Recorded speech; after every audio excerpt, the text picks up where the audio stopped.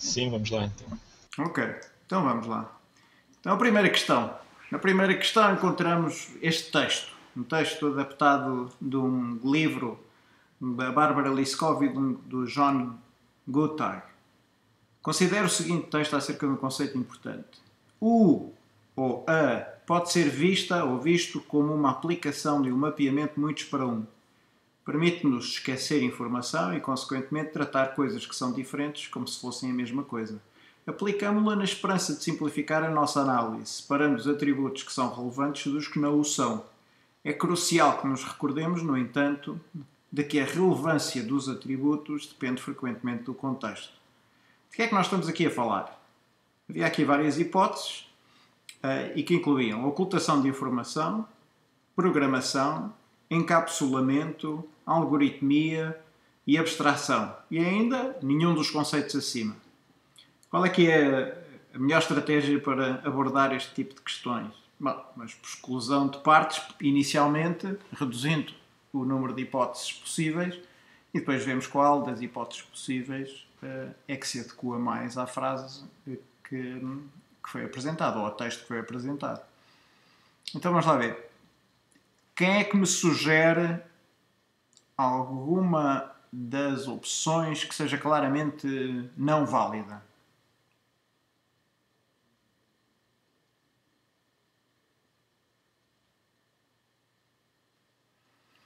Algoritmia. Claramente nós estamos a falar de algoritmia. Perfeito. Portanto, já temos excluído a algoritmia. Mais alguém?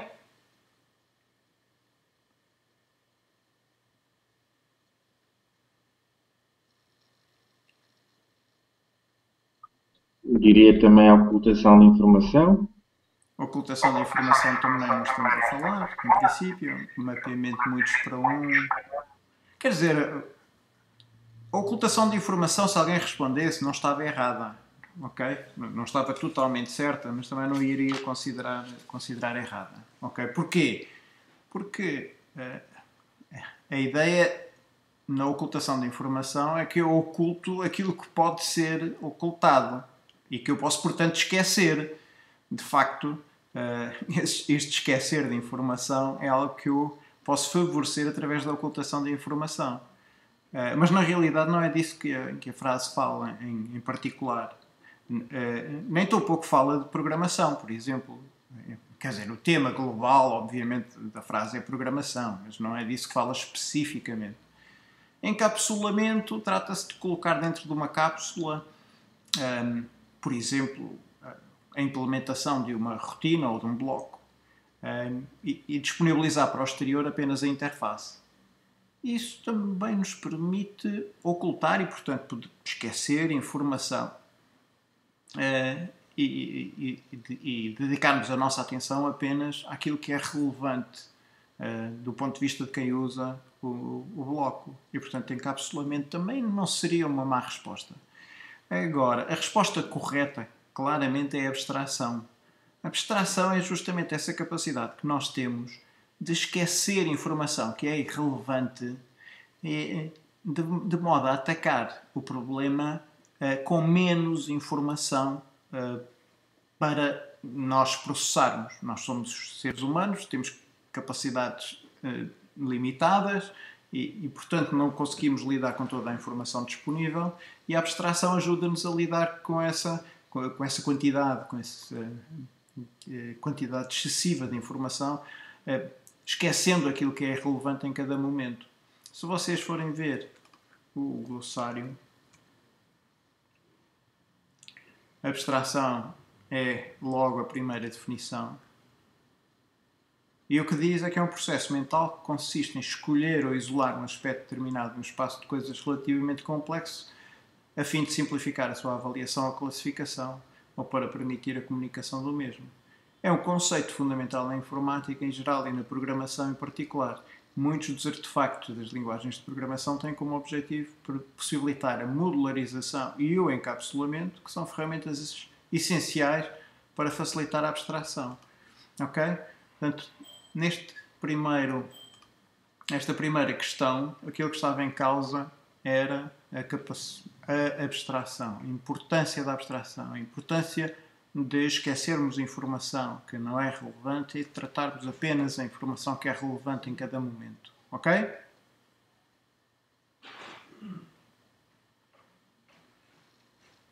Questões?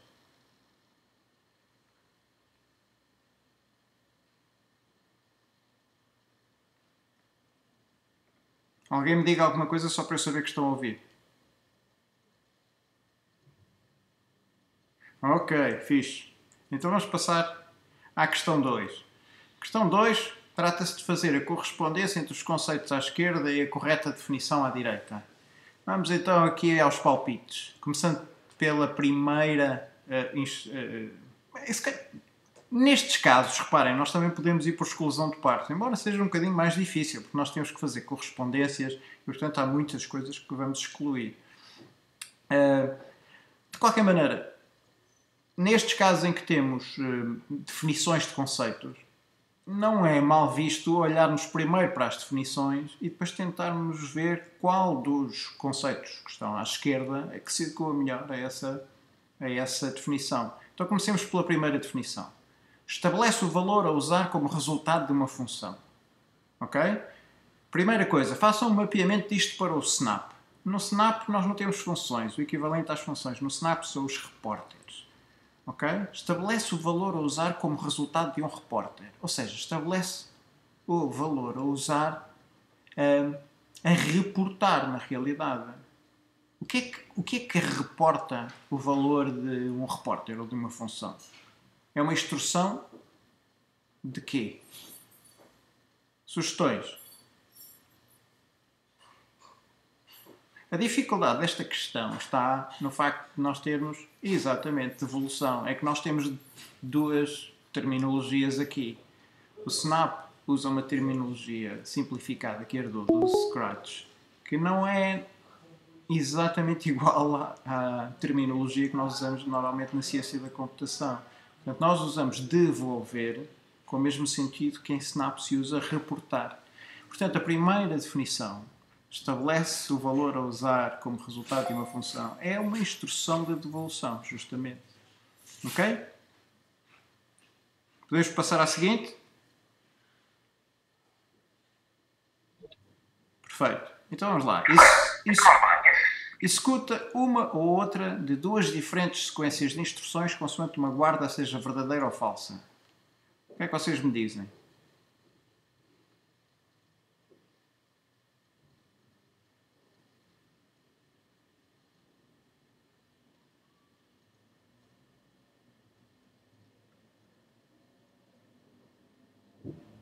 Não há sugestões?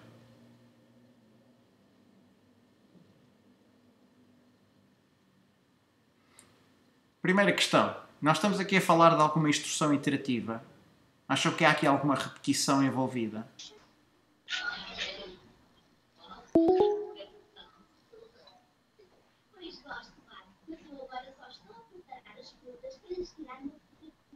Notem que aqui na, na, nesta definição, o que nós dizemos é que executamos uma sequência de instruções ou outra sequência de instruções. Temos apenas duas sequências de instruções. E não temos nesta definição qualquer referência a repetições. Ok? Portanto, exatamente. Estamos a falar ou de uma instrução. É uma instrução de controle de fluxo, claramente. Mas é uma instrução de controle de fluxo particular. Não é. Economia passei com 10. É? Alô? Economia passaste com 10? Alô? Nuno Felipe, podes desligar o microfone, faz favor. Epa! Ok. Obrigado, Ricardo. Portanto, estávamos a falar de que não é, é uma instrução de controle de fluxo, no sentido em que permite executar ou uma coisa ou outra e, portanto, controlar o fluxo de execução do programa. Mas é mais específica do que isso. Não é uma instrução de condicional, porque nós não, não temos apenas uma sequência de instruções que executamos de acordo com o valor de uma guarda, temos duas. Temos, portanto, uma, um conjunto de instruções que executamos se a guarda for verdadeira é, e outro conjunto de instruções que executamos se a guarda for falsa. É isso chama-se uma instrução de seleção, porque selecionamos entre uma de duas instruções. Noutras linguagens, as instruções de seleção podem ser um bocadinho mais complexas, no sentido em que eu posso ter mais do que duas hum, alternativas. Uh, embora no Snap só haja, só haja esta, esta possibilidade. Ok? Vamos passar ao, à definição seguinte. Permite construir ciclos. Ok? Ciclos, ciclos, repetições. Que tipo de instruções é que permitem construir ciclos?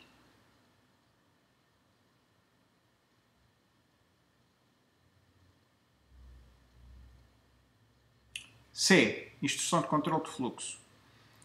A instrução de controle de fluxo é, é, inclui instruções que permitem construir ciclos, mas inclui instruções que não permitem construir ciclos. Controle de fluxo uh, permite-nos controlar a forma como um programa é executado e inclui as instruções uh, de seleção ou condicionais que não são uh, que, não, que não servem para implementar ciclos. As que permitem implementar ciclos são aquelas que se chamam as instruções iterativas. Iterar é repetir. Portanto, é isso que está em causa aqui quando nós uh, dizemos permite construir ciclos, referimos claramente a uma instrução iterativa. Ok? Agora temos uma definição mais genérica. Controla o fluxo de controlo de um programa. Esta, sim, é que é uma instrução de controle de fluxo. Ok?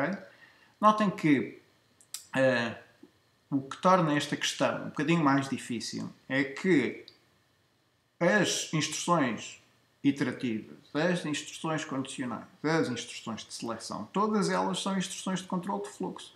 Portanto, nós temos aqui definições que caem dentro de outras. Okay? Quando eu digo que há uma instrução que permite construir ciclos, ela é uma instrução iterativa, mas é também, claramente, uma instrução de controle de fluxo. Nós temos que escolher os termos que se adequam melhor a cada uma das definições. Okay? Portanto, controla o fluxo, de, o fluxo de controle de um programa é uma instrução de controle de fluxo. Vamos então à seguinte. Leva o fluxo de controle a sair da rotina em execução. O que é que é uma rotina? Uma rotina é o equivalente em Snap a um bloco, um bloco um, definido por nós, portanto, um bloco personalizado. O que é que faz com que nós saiamos de uma rotina que está em execução? há um tipo específico de instruções que fazem com que nós saiamos. Já agora, o que é que acontece quando eu saio de uma rotina que está em execução? Quando se sai de uma rotina que está em execução, regressa-se ou retorna-se ao ponto em que essa rotina foi invocada. Para continuar a execução, naturalmente. Ok? E portanto já está tudo dito. Qual é que é a instrução em causa, certo?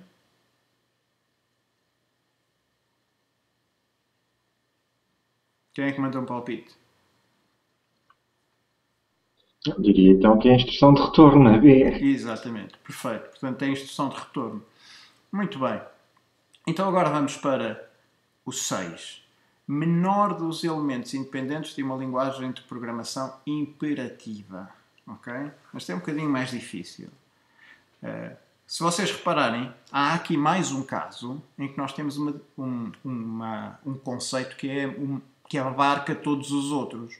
Se as instruções de controle de fluxo abarcam as instruções condicionais, as iterativas e as de seleção, uh, também é verdade que as instruções em si abarcam todos os outros tipos de instrução que aqui está. E é a instrução, justamente, que é o menor dos elementos independentes de uma linguagem de programação imperativa. Porquê? Porque uma, numa linguagem de, de programação imperativa, o que nós, uh, os programas são um conjunto de ordens dada, dadas pelo programador ao computador na forma de instruções ou comandos que têm exatamente o mesmo, o mesmo significado. Ok? Portanto, o menor dos elementos independentes de uma linguagem de programação imperativa é uma instrução. E essa instrução pode ser, obviamente, de, de variadíssimos tipos, não é? E, e, só nesta questão nós temos mais seis eh, diferentes tipos de instruções. As condicionais de retorno, de controle de fluxo, iterativas, de evolução e de seleção. Neste caso particular, estamos a falar genericamente de instruções. Finalmente, vamos para a definição 7. Executa uma sequência de instruções apenas se uma guarda for verdadeira. Esta claramente é parecida com a, com a definição 2, ok? Mas é, uh, refere-se ao, ao conceito A, ou seja, instrução condicional. Eu, eu instru executo condicionalmente uma sequência de instruções dependendo do valor de uma condição, ok? Ficou claro para toda a gente, espero? Ok, perfeito. Vamos então passar à questão seguinte. Eh, desculpa, antes de passar, eu só Sim. me escapou aqui é, a instrução D. A D é aquilo que eu não, que eu não percebi, no que está a interromper na altura. A D. Ok. A, a, D, a D apenas, é isso? A D e a E. Ok, a instrução, a D e a E. A E é a instrução iterativa. Instrução iterativa é uma instrução que permite fazer iterações, que é basicamente um sinónimo, eh, pelo menos na ciência da computação, de, de, repetição. Portanto, é uma instrução que permite fazer repetições, ou seja, que permite construir ciclos. Ok? Ok. Portanto, o que nós estamos a falar, no caso do E, é do, um, ehm, da definição 3. Ok? Agora, temos o. Temos o K, desculpa lá, estou aqui a ver se consigo desligar o telefone. Temos aqui também o caso da uh, D. D é a definição mais, o conceito mais genérico. O que é, é uma instrução? Uma instrução é basicamente é o elemento básico de um programa escrito em programação imperativa. Uh, se vocês pensarem, imaginem à vossa frente um guião do Snap. O que é que é um guião do Snap? Para além de terem aqueles chapéus com os quais consegue, uh, iniciam normalmente os guiões, a seguir, o que vocês têm é uma sequência de comandos. E os comandos são aquelas peças de Lego que têm em cima uma reentrância e em baixo uma protuberância. Comando é um nome que se dá em Snap, basicamente, às instruções. Portanto, um programa imperativo consiste numa sequência de instruções. Okay? É claro que há algumas instruções que, que são eh, instruções um bocadinho mais complexas. Não são instruções simples, como, por exemplo, eu dizer ao ator para uh, dizer qualquer coisa ou para andar 10 passos. São instruções que me permitem construir ciclos, uh, instruções que me permitem controlar o fluxo do programa, que me permitem executar uh, condicionalmente um outro conjunto de instruções e assim sucessivamente. Mas, na essência, um, um programa em Snap consiste num conjunto de guiões que são constituídos por instruções. Portanto, as instruções são o menor dos elementos independentes de uma linguagem de programação imperativa. Ok? Se vocês forem ver no glossário, é justamente essa a definição que tem de instrução. Portanto, vamos ver se eu consigo descobrir aqui onde é que está. Ora, instrução, está aqui. Portanto, na programação de computadores, uma instrução é o menor dos elementos independentes de uma linguagem de programação imperativa. Um programa escrito numa linguagem deste tipo consiste numa ou mais instruções. As instruções podem ter componentes internos, tais como expressões. Muitas linguagens distinguem entre instruções, contendo apenas código executável, e definições, declarando um identificador. No caso do Snap também há declarações. Quando nós dizemos uh, as variáveis de guião, definimos variáveis de guião, e temos aqui uma instrução que é uma, uma, uma, definição para todos os efeitos. Também se costuma distinguir entre instruções simples e compostas, eh, que não está em causa nesta questão, mas que eh, nós podíamos aplicar aqui. Por exemplo, uma instrução condicional é uma instrução composta. É composta porquê? Porque é uma instrução que tem dentro outras, que são aquelas que se executam condicionalmente. Okay? Uma outra instrução composta é, é uma instrução iterativa, um ciclo, que também tem dentro outras instruções que são executadas repetidamente.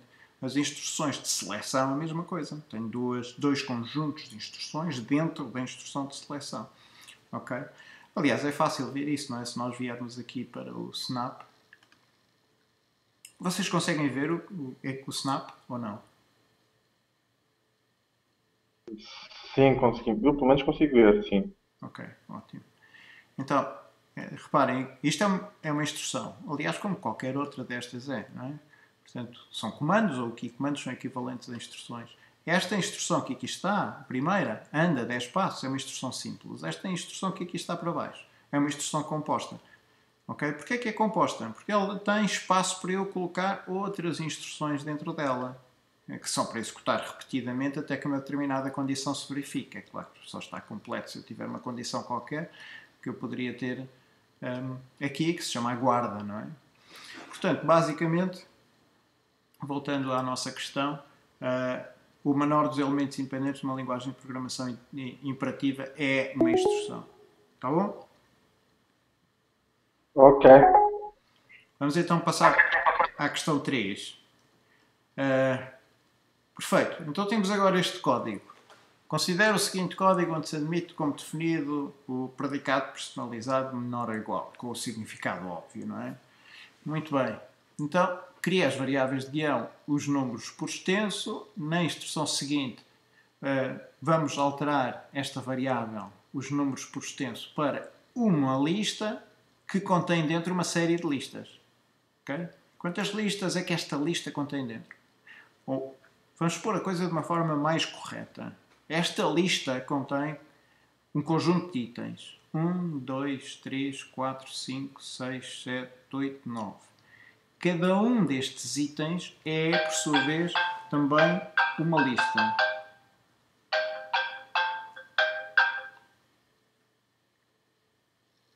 Desculpem lá.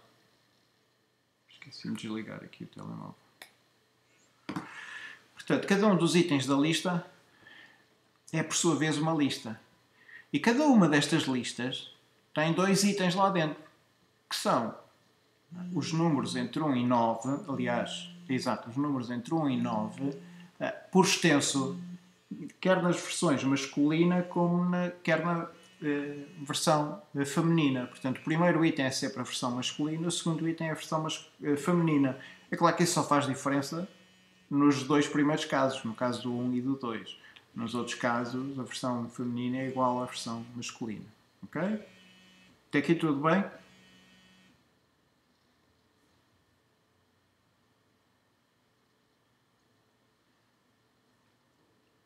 Ok. Instrução seguinte é a criação da, da variável guião chamada o número. E agora vamos fazer um ciclo em que a inicialização coloca a variável o número a zero.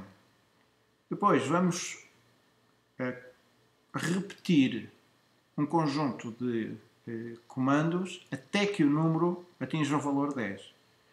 Esses comandos incluem duas partes.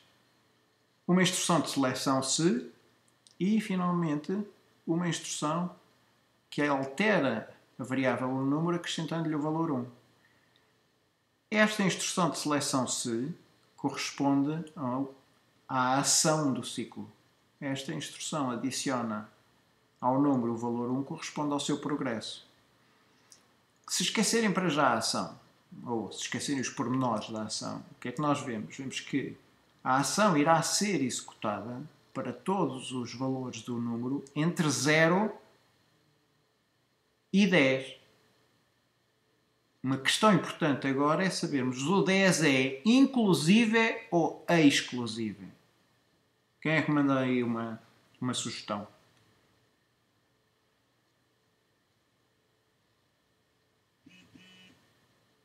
É exclusiva, justamente. Porquê? Porque quando o número chegar a 10, reparem, Recuando um pouco. Vamos supor que eu executei última, pela última vez esta ação com o número a valer 9.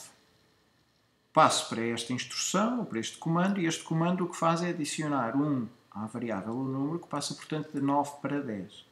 Terminei o passo do ciclo e vou verificar a guarda. O número atingiu 10, o ciclo termina. O que significa que a ação nunca será executada com um número a valer 10. O último número para o qual a ação é executada é 9. Ou seja, eh, a ação irá ser executada para todos os números entre 0 e 9. Okay? Isso permite-nos imediatamente excluir aqui uma série de hipóteses. Já agora, nesta questão não há qualquer erro sintático, ok?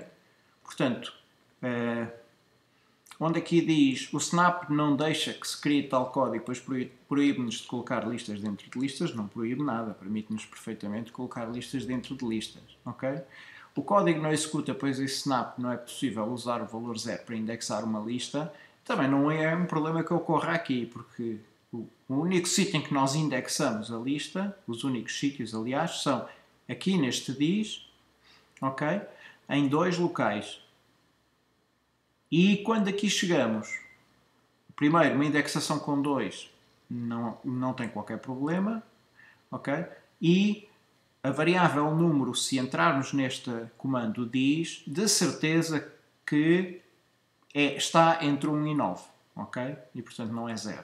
Ou seja, estas hipóteses C uh, e F que estão completamente excluídas. A hipótese A, o código não executa, pois em Snap não é possível usar variáveis para indexar listas, claro que é, não é? Se não pudéssemos indexar listas com variáveis, estávamos fritos, não conseguimos fazer uh, nenhum programa interessante uh, que manipulasse listas, ou pelo menos podias fazer muito poucos, ok?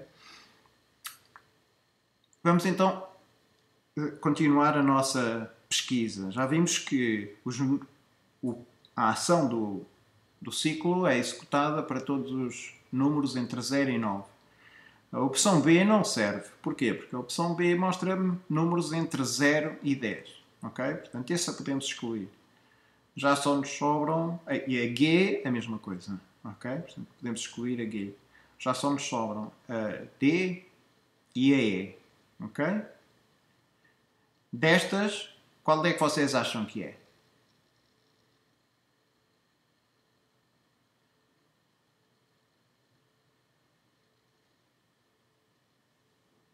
Ok, será a D. Ou seja, vai dizer 0, 1, 2, 3 e assim sucessivamente até chegar a 9. Certo? É essa a questão? Mas temos aqui um pequenino problema. Porquê é que não pode ser a D? A D é que está mais próximo de ser, de facto. Porque a E não faz sentido nenhum. Um uma nunca seria. A D está próxima, mas reparem, quando o número vale 1, hum, exatamente, é nenhuma das acima. Porquê? Porque quando o número é 1, por exemplo, o que ele vai fazer é indexar os números por extenso na posição, o que vem buscar esta lista. E depois vai buscar o segundo item dessa lista. E o segundo item dessa lista é uma. Ou seja, tem que ser uma das hipóteses que inclua uma, mas não há nenhuma das hipóteses que inclua uma que seja válida, por razões variadas, não é? A E não pode ser, porque nunca poderia começar com o valor 1, certo? Uh, a B nunca poderia ser, porque não chega nunca a 10. Sucessivamente.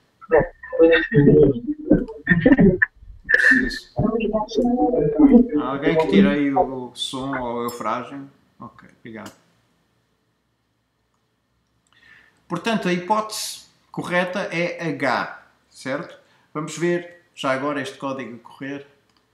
Ver se eu consigo encontrar.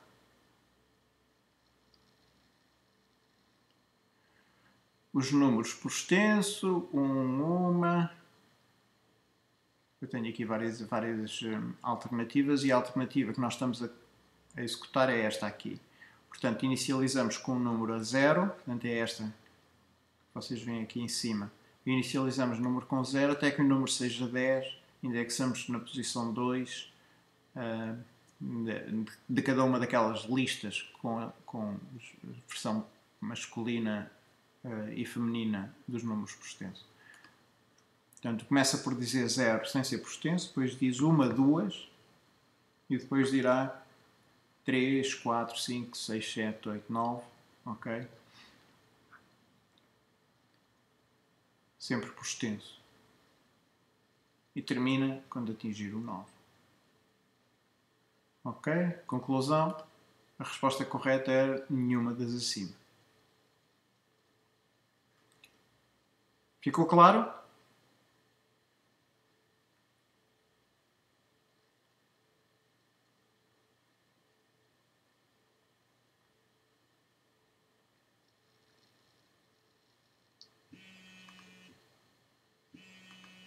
Bem, Eufrágio.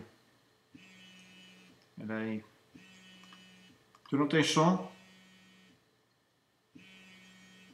Toda a gente está a ver a minha tela ou não? Basta clicar em cima, do, em cima da minha pessoa. Eu consigo ver.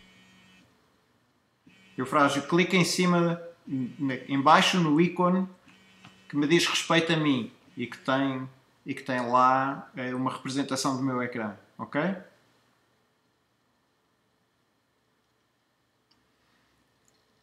Perfeito, vamos então continuar. Questão 4. Considere o seguinte bloco do Snap. Uma lista com os troços de qualquer coisa entre qualquer coisa. A questão é, de que é que se trata? Notem que para vocês saberem que responder esta questão, não, nem sequer precisam de saber o que é que este repórter faz. Embora eu vos possa dizer o que este repórter faz é pegar num texto e parti-lo em bocados, colocando cada um dos bocados numa lista que é reportada depois. É muito simpático para fazer determinadas eh, manipulações de texto. Por exemplo, vamos aqui uma lista com os troços de. Vamos supor que eu tenho várias palavras. Olá, mundo cruel. Ok? E vou colocar aqui um espaço e vou-lhe dizer para, para, uh, reportar uma lista com os troços deste texto, Olá Mundo Cruel, uh, entre espaços. E ele reporta uma lista com cada uma das palavras, uh, admitindo que os espaços separam as palavras. Ok?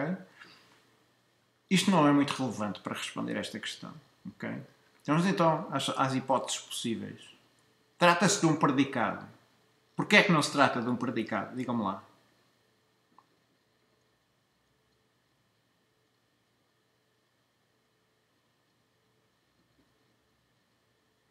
O que é que é um predicado?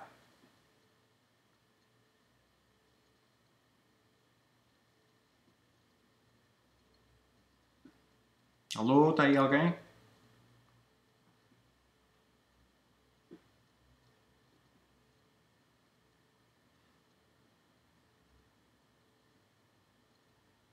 Exatamente.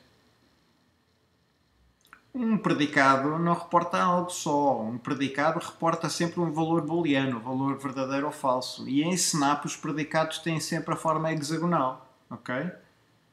Portanto, aqui não se trata de um predicado. Não é hexagonal. Aqui era muito fácil verificar. Não é, não é hexagonal. Não é um predicado. Ok? Trata-se de uma instrução de controle de fluxo. Quando vocês encontrarem uma questão destas a perguntar se isto se um determinado bloco é uma instrução, lembrem-se, uma instrução em Snap é sempre um comando. E, portanto, tem que ser sempre um bloco que tenha uh, uma uh, reentrância em cima e pode ter ou não ter uma saliência em baixo. Mas são blocos que se encaixam em pilhas, os, uh, as instruções ou os comandos em Snap. Portanto, não se trata claramente de uma instrução nem tão pouco de uma instrução de controle de fluxo. ok? Trata-se de um repórter. O que é que vocês acham?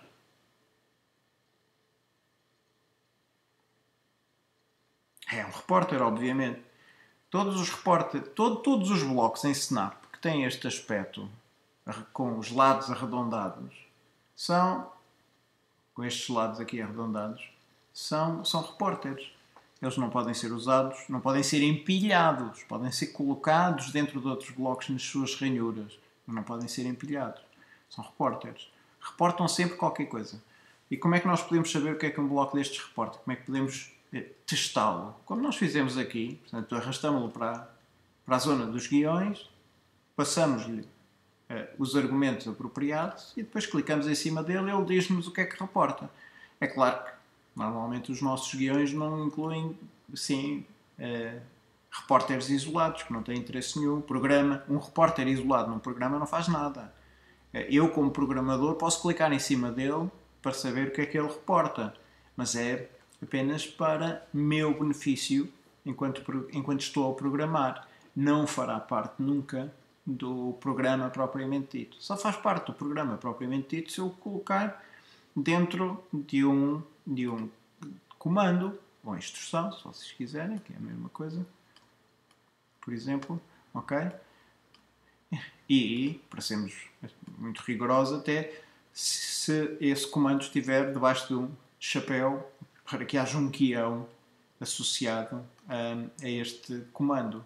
Portanto, neste caso eu já tenho uh, um, um, programa, digamos assim. Isto, isto estou, estou a admitir que esqueçam tudo o resto que eu tenho para aqui, que tenho aqui um monte de lixo. Portanto, mesmo que nós tivéssemos só um programa em Snap que tivesse este guião, era um programa completo.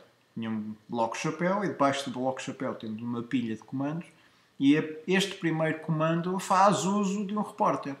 Portanto, isso invoca o repórter, o repórter reporta qualquer coisa e isso que é reportado é passado para o DIS. E o DIS o que faz é ser obediente e dizer a lista que foi reportada. Ok? Portanto, trata-se de um repórter. Trata-se de uma variável? Não, claramente não se trata de uma variável. Ok?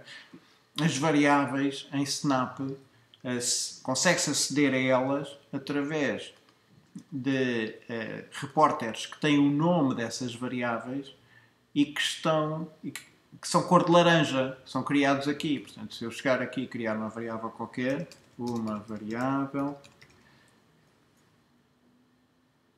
passei a ter disponível um repórter que me reporta o valor que a variável tem neste instante e que neste instante é zero.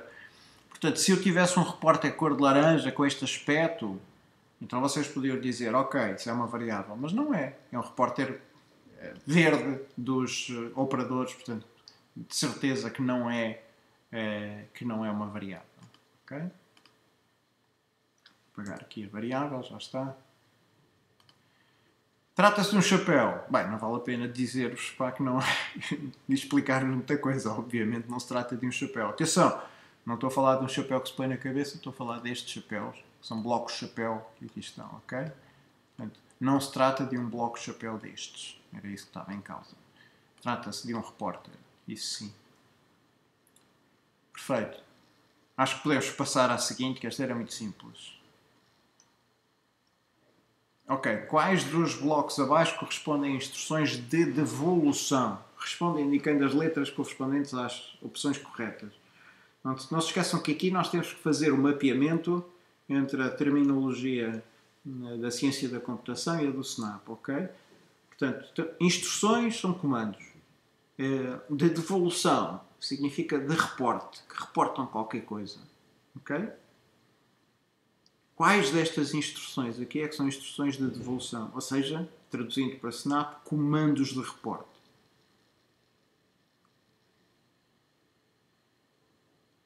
Alguém manda uma sugestão? F. F serve para difundir uma mensagem, não reporta nada. Ok? Reportar é algo que eu faço quando estou dentro de um bloco personalizado e pretendo estabelecer o valor que esse bloco personalizado, que esse repórter personalizado em particular, vai ter quando terminar. Okay? Portanto, a, não, a difusão de uma mensagem é um mecanismo completamente diferente que serve para eu fazer comunicação entre atores, mas também pode ser entre uh, guiões do mesmo ator. E não serve para fazer uh, reporte. Removed serve para remover uh, um clone, para um clone se remover a si mesmo. O para é um, é uma instrução iterativa para construção de ciclos controlados por computador. Repete para sempre é um ciclo, é uma instrução iterativa para implementar ciclos infinitos. Para este guião do bloco já se aproxima um bocadinho mais. Para este guião de, de bloco eh, já interrompe a execução de um bloco. Mas é usado não para interromper a execução de repórteres, mas sim de comandos. E não tem nenhuma forma de estabelecer qual é que é o valor a reportar. Ou seja, é inválido. Eu, eu, no, no repórter eu não posso usar este bloco. Portanto, não há nenhuma destas opções aqui que corresponda a uma instrução de devolução. A única instrução de devolução em Snap é o nosso famoso reporta, que está omisso naquela lista. Ok? Portanto, se nós quiséssemos responder corretamente a esta questão, tínhamos que dizer nenhuma das opções. Ok? Não se esqueçam disso. Quando há várias possibilidades, Quando eu digo que é possível que haja mais do que uma opção correta, também é possível que não haja nenhuma. E isso está claramente indicado no, no início do enunciado. Portanto, regressando aqui para vocês se localizarem um bocadinho melhor. Nas questões em que mais de uma opção pode ser assinalada, responda escrevendo o texto as opções na folha de resposta e seguindo esse texto as letras correspondentes às opções que considera apropriadas. A resposta correta pode consistir em não indicar qualquer opção. Ok? Notem bem que essa pode ser sempre uma opção. Uh, nos próximos enunciados eu vou tornar isto um bocadinho mais claro. Portanto, se vocês quiserem dizer que, que não é nenhuma das opções, podem escrever esse texto explicitamente de acordo com o que eu vou depois dizer. Ok? Acho que também aqui ficou mais ou menos claro, ok? Que não se trata de nenhuma das opções.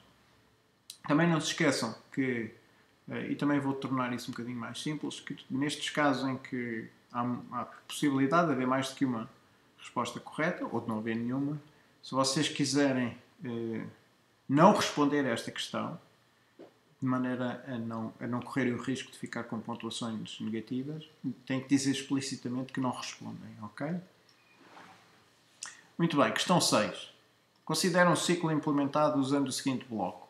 Para cada o item de, e depois tem ali um espaço para colocar uma lista, repete é, um, uma ação, um conjunto de instruções que estão colocados na, naquela é, forquilha. Qual é o tipo de ciclo de que mais provavelmente se trata? De que ciclo é que tipo de ciclo é que nós implementamos tipicamente com este tipo de, de comando? Responde indicando a letra correspondente à única opção correta. Ok? Então vamos lá ver. Será que estamos a falar de um ciclo controlado por guarda? O que é, que é uma guarda? Ok? Não é. Porquê? Porque uma guarda é uma condição. Uma condição é sempre qualquer coisa que resulta num, num valor lógico uh, verdadeiro ou falso. Uh, e não há ali nenhum, uh, nenhuma ranhura neste ciclo onde eu possa colocar uma condição. Pelo contrário, não há condição nenhuma. Portanto, se vocês olharem para as opções que aqui estão, veem claramente que as, as hipóteses A, C e E não têm, não se aplicam. Isso já nos reduz substancialmente as nossas hipóteses. Ciclo infinito. Obviamente que não é um ciclo infinito. ok? Um ciclo infinito é um repete para sempre. ok? Portanto, esse também está excluído. Ciclo controlado por contador. Acham que este é o ciclo controlado por contador? Este é, agora já é um bocadinho mais difícil. Porquê é que não é? Nós não temos aqui nenhum contador uh, pelo, explícito, não há nenhuma contagem, não é um repete tantas vezes, nem um para um, uma determinada variável, desde um, de uma contagem inicial até uma contagem final. Aquilo que nós temos aqui é um ciclo em que percorremos todos os itens de uma lista. Uma lista é uma coleção, é um tipo especial de coleção. Em Snap só temos estas coleções. Noutras linguagens de programação, depois vocês verão que há outros tipos de, coleção, de coleções disponíveis. Estes ciclos que servem para percorrer coleções de uma forma simples chamam-se ciclos, aliás, estes comandos, que servem para percorrer uh, coleções de uma forma simples, permitem-nos implementar de uma forma direta ciclos controlados por coleções. ok? E portanto era isso que estava em causa aqui. Ou seja, qual das respostas uh, é que estaria correta?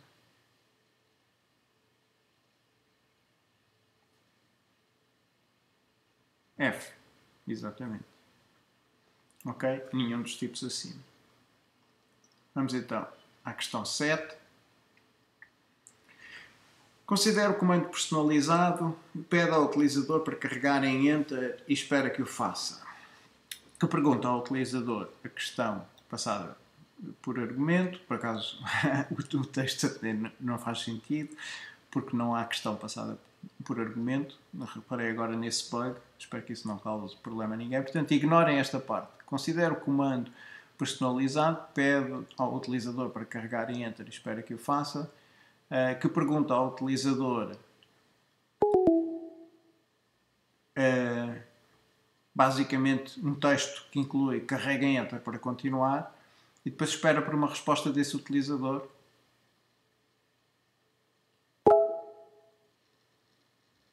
Já percebi que o texto que está nesta questão está completamente errado. Já repararam nisso? Este texto todo não faz sentido nenhum, não se aplica de todo este bloco. Ok? O que este bloco faz não tem nada a ver com respostas sim ou não. Vamos, vamos analisar o bloco, eh, uma vez que uh, é preferível vermos aquilo que ele faz para percebermos, em vez de lermos este texto, que eu me enganei uh, com copy-paste e mantive uma descrição errada. Ok? Portanto, considere agora o ciclo correspondente à implementação desse comando. Vamos então ver a definição, do, a definição do, do, deste comando. Pede ao utilizador para carregar em Enter e espera que o faça. Cria uma variável de guião chamada a mensagem de erro altera a mensagem de erro para texto vazio e depois tem o ciclo com uma repetição para sempre. Okay? Quando vocês encontram uma destas repetições para sempre, uma de duas hipóteses ocorrem. Ou é mesmo uma repetição para sempre.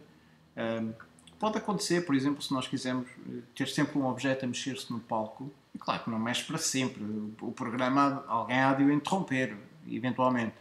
Mas enfim, enquanto o programa estiver a correr, ele vai executar. Ou então será um ciclo com, com uma saída, alguns intermédia. E se vocês olharem para, para aquilo que está dentro do repete, encontram uma instrução condicional, este se, dentro da qual temos uma, uh, um comando de paragem para este guião de bloco. Ok? A resposta da questão 6 era F, nenhum dos tipos acima.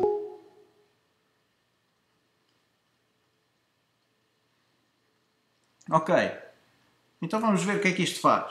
Portanto, a mensagem de erro inicialmente é o texto vazio e vai repetir, e portanto na primeira, na primeira repetição vai fazer a pergunta da junção da mensagem de erro, que é nada, com o texto carrega em Enter para continuar. Isto faz com que surja apenas carrega em Enter para continuar. Surge essa mensagem e fica à espera da resposta. Se o utilizador, quando o utilizador carrega em, em Enter, tenha ou não introduzido algum texto, passa-se para a instrução seguinte. Se a resposta dada em, eh, não for o texto vazio, ou seja, se o utilizador tiver introduzido alguma coisa, este para não é executado, o que significa que se passa para a linha seguinte, para o comando seguinte, em que se altera a mensagem de erro para um texto que é não é suposto introduzir nada. E vai-se repetir de novo todo o passo. O que é que vai acontecer? Ele vai fazer uma pergunta que agora vai conter um texto um bocadinho diferente. Porquê? Porque a mensagem de erro neste momento já não está vazia, mas sim contém, não é suposto introduzir nada.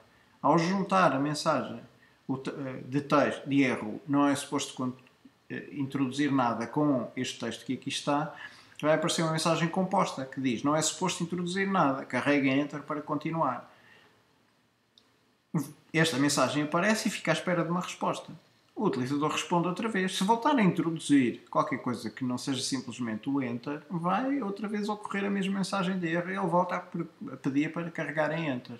E só sai deste ciclo quando se carrega em Enter. Ok? Vamos ver uh, se isto de facto ocorre, executando aqui o nosso.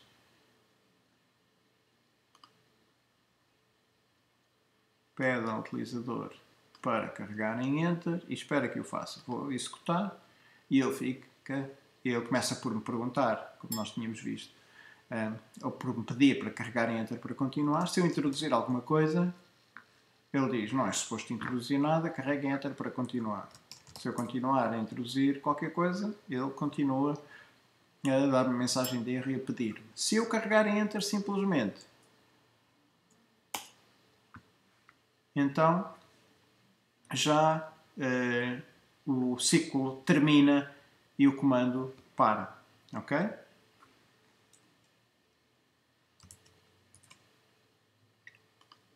Ou seja, a descrição que está aqui em cima está completamente gatada, certo? mais um bug para corrigir. Então, mas vamos olhar para este ciclo e ver, porque essa é que é a questão, e por isso é que a descrição também não é muito importante, felizmente. Se olharmos para aquele ciclo e se olharmos para estes. Deixa-me tentar. Hum.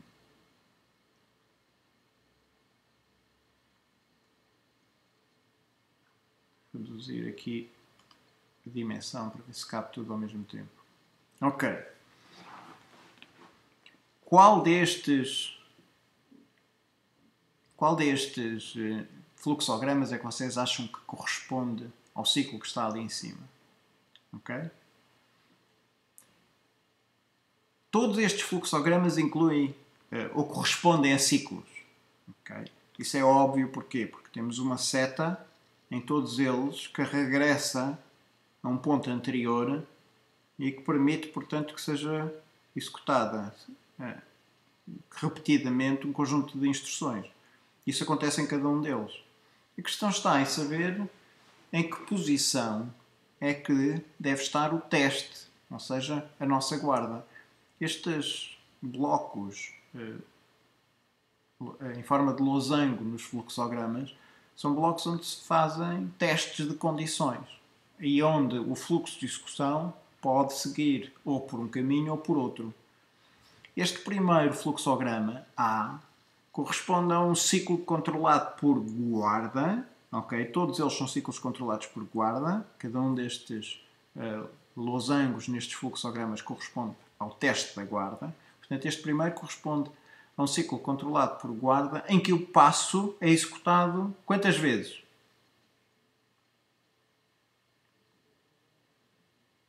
Pelo menos uma vez, reparem. O passo corresponde aqui ao conjunto destes dois blocos, 2 e 3, e portanto é executado sempre uma vez antes de se verificar a guarda. Ok?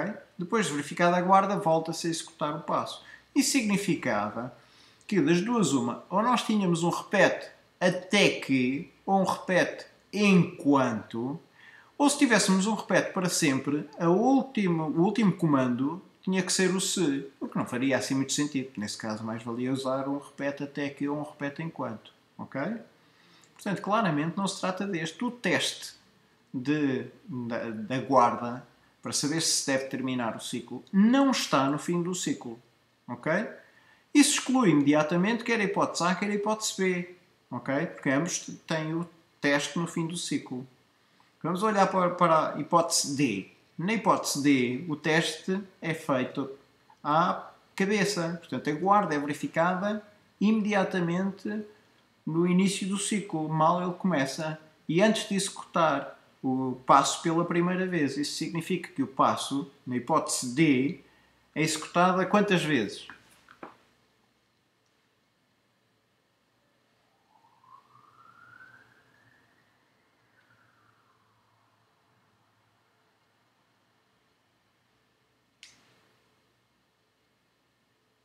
Zero mais vezes, exatamente. Ok? Então, e agora sobra-nos a hipótese C.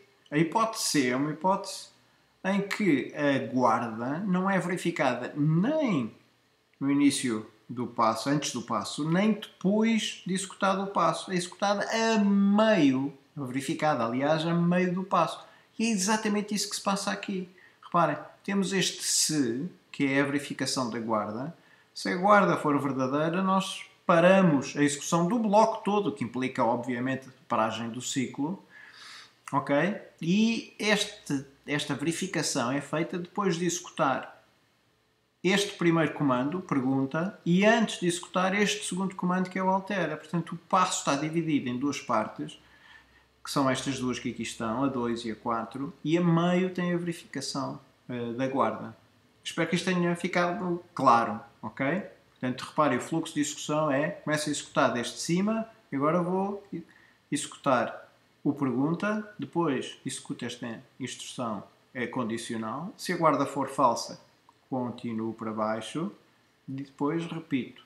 E vou sempre executar neste sentido até que a guarda se torne verdadeira. Quando a guarda se tornar verdadeira, para a execução deste bloco, o que implica necessariamente parar também a repetição e portanto acabou. Ou seja, temos um ciclo que é exatamente o que temos aqui em baixo. ok? Qual é que é o mapeamento entre estes blocos que aqui estão, 1, 2, 3 e 4, e os pedaços de código que estão aqui? Este primeiro bloco está fora do ciclo e imediatamente antes do ciclo. Corresponde à sua inicialização e corresponde aqui a este altera. Já me estou a referir aqui, obviamente, à linha B, ok? Que tínhamos que fazer uma associação entre as letras que aqui estão, os correspondentes a estes blocos, e os uh, uh, comandos e, e, as caixas do fluxograma que estão mais acima. Ok? Portanto, estes dois, cria as variáveis de guião a mensagem DR e altera a mensagem DR para, correspondem aqui a este 1. O que é que vem a seguir? A seguir vem o que está dentro do ciclo antes da instrução condicional em que se verifica a guarda, ou seja, o pergunta. O 2 corresponde ao pergunta, portanto, tínhamos que fazer associar o 2 ao A. A seguir temos a guarda propriamente dita, que é o número 3. E a guarda corresponde a quê? Corresponde a esta condição, a resposta dada igual a texto vazio. Portanto, ali o 2, aliás o 3, corresponderia aqui ao C.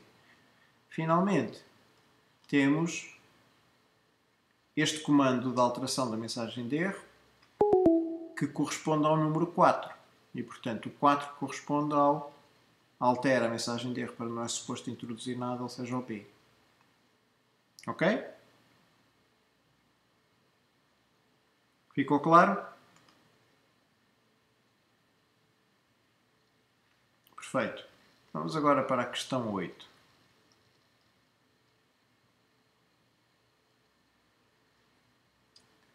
Questão 8. Considere a seguinte definição iterativa errada de um repórter que, recebendo como argumento uma lista que se admite estar ordenada por ordem não estritamente crescente e um valor arbitrário, deveria reportar, usando o algoritmo de pesquisa binária, o índice de um dos itens da lista com o valor dado, se a lista contiver esse valor, e o índice da lista eh, adicionado de 1, aliás, o comprimento da lista adicionado de 1, se a lista não contiver o valor dado.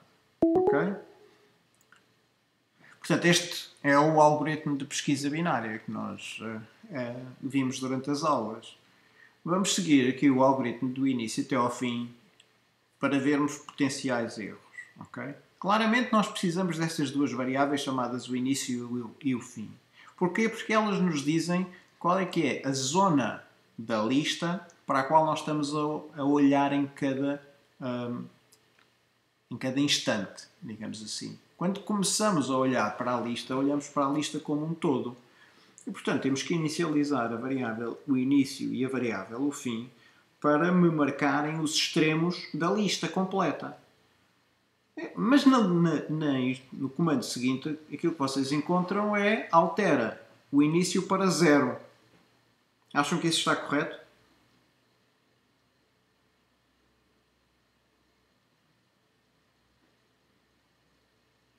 Início e fim têm que se referir a posições da lista. E as posições em, dos itens de, das listas em Snap começam necessariamente em 1.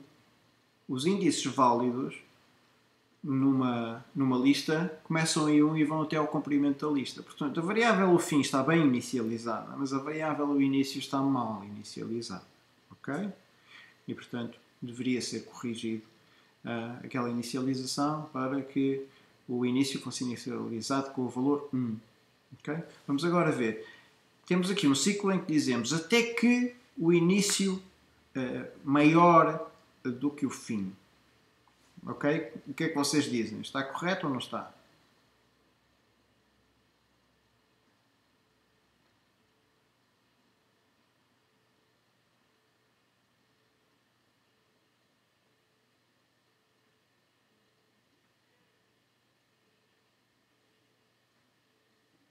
Não se esqueçam que nós estamos a usar um ciclo até que, certo? Lembrem-se que o algoritmo de pesquisa binária, o que nós fazemos é, enquanto a nossa gama de valores que estamos a observar não estiver vazia, vamos olhar para o elemento que está no meio dela e verificar se é aquilo que nós estamos à procura. Se for aquilo que estamos à procura, perfeito, já o encontramos. Se não for aquilo que estamos à procura, então temos que verificar se o que estamos à procura é inferior ou não ao meio. Se for inferior ao meio, temos que procurar para a esquerda. Se for superior ao que está no meio, então temos que procurar para a direita. De acordo? E este processo, quando vamos procurar para a esquerda, vamos alterar o fim uh, e as variáveis, o início e o fim, vão ficar com um valor mais restrito, não é? Neste caso, como estamos a olhar para a esquerda, o início mantém-se, o fim fica igual ao meio menos 1. E, e, pode acontecer que uh, essa zona para a qual nós vamos olhar em seguida, a zona da esquerda neste caso, vamos admitir, que essa zona esteja vazia. Se essa zona estiver vazia, o que acontece é que o início se torna superior ao fim. ok? E portanto esse ciclo parece estar correto, tal como está. ok? Portanto, a guarda do ciclo, aliás, parece estar correto. Vamos agora ver o, a instrução seguinte. Criamos uma variável o meio, que é suposto conter o, a posição correspondente ao meio da zona que estamos a olhar. E aqui temos uma instrução que nos induz em erro, ok? Vamos, estamos a alterar a variável o meio de modo a conter a média dos valores que estão nas variáveis o início e o fim. Será que isto está correto? O que é que vocês me dizem? Atenção que há aqui.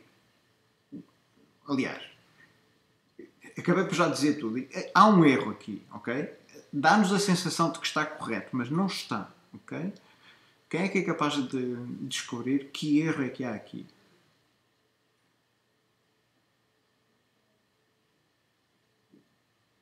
Exatamente, ok? Tinha que ser com arredondamento. Porquê? Porque se o início mais o fim der um número ímpar, a dividir por 2 vai dar com casa decimal, o que não pode ser, ok? Portanto, imaginem que o início é 1, o fim é 10, portanto é de 1 ao 10. Qual é o valor a meio? O valor a meio, 1 mais 10, 11, a dividir por 2, 5,5. E nós ficávamos com um índice na lista que era um número decimal, o que não faz sentido. Portanto, ali tínhamos que ter um arredondamento, tínhamos que arredondar uh, o resultado daquela divisão por 2, daquela, daquela média na prática. Ok, depois de termos calculado o meio, na instrução seguinte, nós vamos indexar a lista nessa posição, o meio, e verificar se uh, a posição que está nessa, se o valor que está nessa posição é igual ao valor que estamos à procura. Se for igual ao valor que está à procura, reportamos o meio. Isto parece estar correto. Ok? Até agora já detectamos uh, dois erros. O início que devia ser 1, um, ok? E um, eh, o arredondamento em falta no cálculo do, do meio da lista. Muito bem, então se esta uh, condição não se verificar, então passa-se para, para uh, o comando seguinte, que é um comando de seleção e vamos verificar se o valor é maior do que. Se o valor que eu estou à procura é maior do que o que está no meio da lista. Certo? Será que isto faz sentido? É um teste possível, ok? Eu posso testar ou se o valor é maior que o meio da lista ou se é menor do que o meio da lista. A questão está em saber se aquilo que eu faço em cada um dos casos é o mais adequado. Se eu verifico que o valor é maior do que o meio da lista, que o valor que estou à procura é maior do que o que está no meio da lista, ok? Eu devo restringir a minha pesquisa à parte à direita do meio ou à parte à esquerda do meio.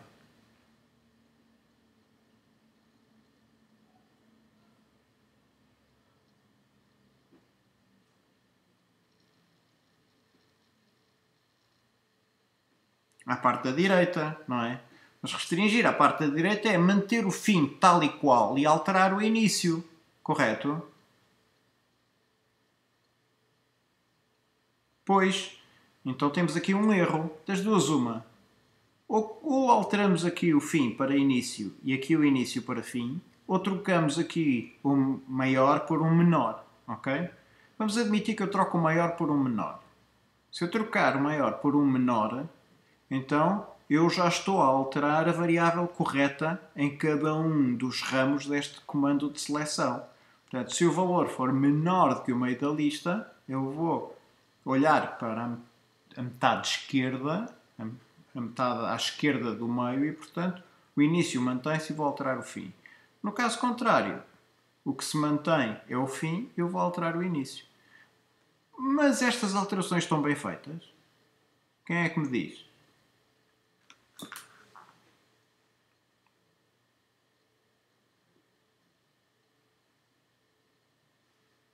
Suponho que o valor é de facto menor do que o que está no meio da lista, ou seja, que eu vou olhar para a esquerda.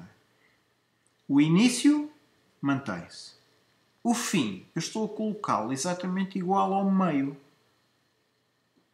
Mas faz algum sentido eu dizer que o fim é o meio? Eu, o meio, já olhei para ele. Já não é uma posição que eu preciso de procurar. Exatamente. Portanto, o que devia estar ali era o meio menos 1. Ok? Portanto, este é o outro erro.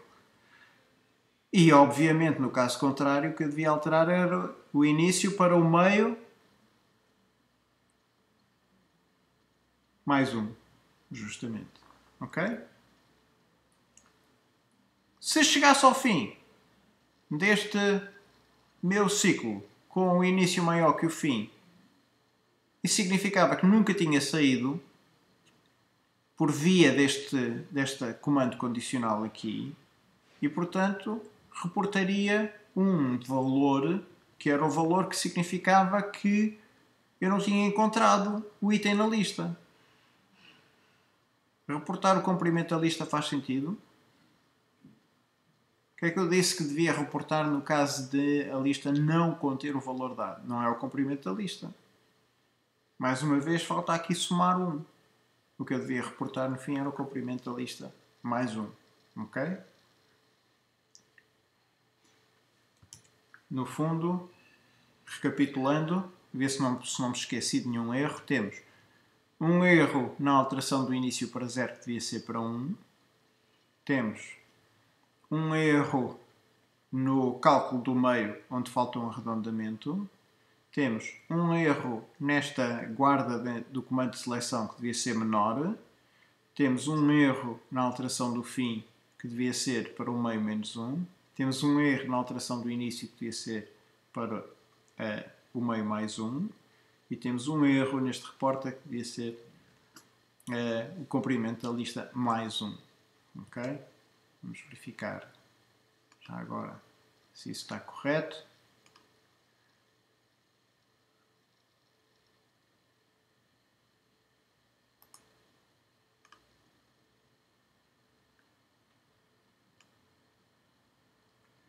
Ok, aqui vocês veem as duas versões. A versão à esquerda está com os erros e a versão à direita está correta.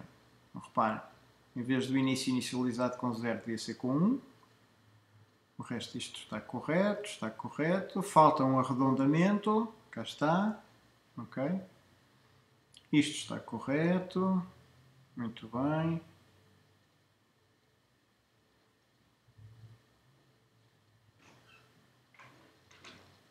Se tinha feito aqui alguma isto igual ao valor, está correto. Depois temos o maior que devia ser menor. Aqui que falta o menos 1. Aqui falta o mais 1. E no fim faltava o mais 1. Ok? Ficou claro?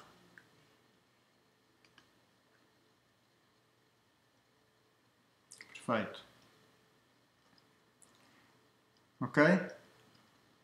o que é que vocês deviam fazer? Deviam assinalar os erros aqui em baixo, que seria o A, o E, o F, o G e o H, e ainda o I, e propor as alterações correspondentes.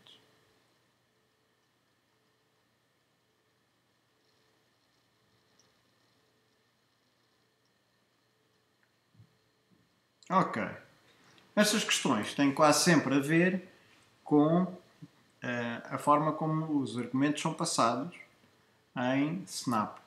E os argumentos são passados por valor, que significa que eles são copiados para os respectivos parâmetros. Ou seja, se vocês olharem para este comando faz algo a, o que é que vocês encontram? Veem que, para além de uma variável local que está cá dentro, o que acontece é que ele faz alterações aos parâmetros A, B e C. Okay? Que alterações é que faz? Nós até podemos verificar quais são. E, e, e já lá vamos, ok? Mas o, que é importante perceber é que quando eu altero A, B e C, não estou a alterar os argumentos que foram passados quando eu invoquei o bloco. Eu estou a alterar cópias deles, que são as variáveis A, B e C. A, B e C são variáveis independentes de x, y, z. Alterar A, B e C, como eu estou aqui a fazer, não tem qualquer efeito sobre x, y, z. Ok? Conclusão. O que é que este comando, o que é que este guião faz quando é executado?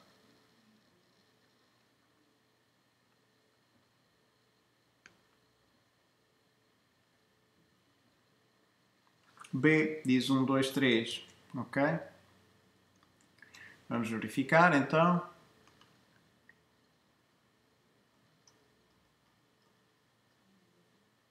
Ver se eu dou com. Então, ok. Diz 1, 2, 3. Cá está. Certo? Já agora, o que é que isto faz cá dentro deste comando? É pá, faz uma data de coisas, mas faz tudo em seco, porque nada disto tem qualquer efeito externo ao comando, o que significa que este comando, na prática, não faz nada. Ok? Anda aqui a mastigar em seco. Mas pronto, enquanto está a executar, o que é que ele faz? Guarda o valor da variável C numa, nesta variável, o valor original de C, e depois altera C para o valor de B, altera B para o valor de A, e altera A para o valor original de C. No fundo, o que está a fazer é rodar os valores que estão nestas variáveis, eh, da esquerda eh, para a direita. Portanto, coloca o que estava em B em C, o que estava em A fica em B e o que estava em C, como caiu do lado direito, volta ao início e fica em A. E claro, nada disto tem qualquer efeito sobre as variáveis x, y, z que são externas e portanto o que ele diz é 1, 2, 3 que eram exatamente os valores iniciais de x, y, z. Ok? Vamos então aqui ao seguinte. Aqui temos um caso um bocadinho diferente, não é? Porquê? Já nós já não temos uh, argumentos numéricos. Aquilo que nós temos são argumentos e um parâmetro que é uma lista. Ok? Reparem, vamos começar aqui pelo guião em baixo. Neste guião, cria-se uma variável chamada os números. Essa variável, os números, é inicializada com uma referência para uma lista que contém os valores 1, 2 e 3. É muito importante perceber-se que os números não é diretamente uma lista, é uma referência para uma lista. A seguir vamos invocar este comando chamado faz algo a, passando-lhe esta referência aos números. Essa referência aos números é usada para inicializar este parâmetro chamado a lista, o que significa que as duas variáveis, os números e a lista, que são variáveis independentes, passam a referir-se à mesma lista. Ok? A seguir, o que ele vai fazer é executar este comando. Se o comprimento da lista for inferior ou igual a 1, para este guião de bloco. Ok? Isto porquê? Porque o que este comando faz é rodar os, os itens que estão na lista. Ok? E se a lista só tiver um item, não vale a pena estar a tentar fazer rotações não é? Porque esse item, quando for rodado, fica exatamente na posição em que está. E se a lista estiver vazia, a rotação é também ela própria. E, portanto, não vale a pena fazer nada no caso do comprimento ser menor ou igual a 1. Se o comprimento for maior ou igual a 1, então o que é que vamos fazer? Vamos criar uma variável de guião chamada valor original do último item da lista. Vamos pegar no valor que está no, na, na última posição da lista e guardar nessa variável. E agora vamos criar uma variável de guião i começamos com o índice do último item da lista, ou seja, o comprimento da lista, e vamos uh, executar este ciclo até que o i seja 1. Ou seja, o último valor para o qual estes dois comandos são executados é com o i a valer 2. Notem bem. Quando chegar a 1, termina. Ok? O último valor é quando o i valer 2. Então vamos começar. Começamos com o i a valer o, comprimento da lista. Neste caso temos uma lista que tem 1, 2, 3. Ok? Portanto, estamos no terceiro uh, item da lista. O que é que ele vai fazer? Vai substituir o que está na posição 3 da lista pelo que está na posição 2 da lista. Ou seja, vai pegar neste 2 e colocar aqui no 3. Depois adiciona ao i o valor menos 1 e o i passa a valer 2. 2 não é igual a 1 e, portanto, ele vai executar este comando. Este comando vai substituir a posição 2 da lista pelo que está na posição 2 menos 1, 1 da lista. Ou seja, vai substituir esta posição por 1. Ok? Portanto, aqui fica 1, aqui fica 2. Ok? Depois adiciona à variável i valor menos 1, que passa de 2 para 1. Ao passar de 2 para 1, a guarda torna-se verdadeira e o ciclo termina. E a última instrução, o último comando, é a substituição do que está na primeira posição da lista pelo valor que nós guardamos okay, do último item da lista e que tinha o valor 3. Okay? Neste momento já tem 1, 2 aqui. E o 3 está guardado nessa variável o valor do, do último item da lista, que nós vamos colocar na posição 1. E, portanto, fica 3, 1, 2. Ok? Estas alterações são realizadas na mesma lista que é referenciada aqui pela variável os números. O que significa que quando nós aqui fizemos a junção de 1 dos, itens, dos valores dos itens nas posições 1, 2 e 3 da variável os números, esses valores já vão refletir as alterações que foram realizadas pelo nosso comando. Ou seja, vai aparecer uh, o valor 3 nesta posição, depois 1 e depois 2. Portanto, o que aparece é 3, 1, 2. Ou seja, a resposta correta é F. Isso ficou claro para toda a gente? Ok? Vamos ver aqui os números. Estamos a falar desta. E aqui está. 3, 1, 2. Ok? Muito bem. Questão 11. Considere o seguinte repórter personalizado. Ok? Este é, é bem mais subtil. Portanto, estamos a falar aqui de um repórter personalizado eh, em que se admite que o primeiro argumento é um número inteiro não negativo e o segundo argumento é um número arbitrário. Ok? Uh, este repórter é recursivo. Como é que vocês sabem que ele é recursivo? Porque na sua definição nós estamos a usar o próprio bloco, ou seja, este próprio repórter. Vem aqui uma operação sobre Vamos fazer uns testes, ok? Imaginem que, e ver se eu consigo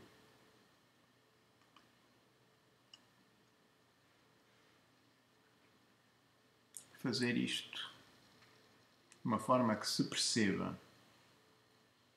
Hum.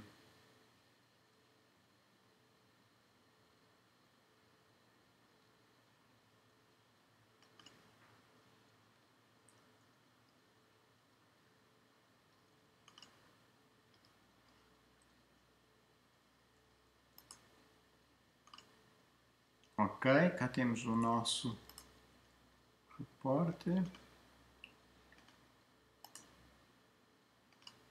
Vou copiar esta imagem e vou pô-la aqui.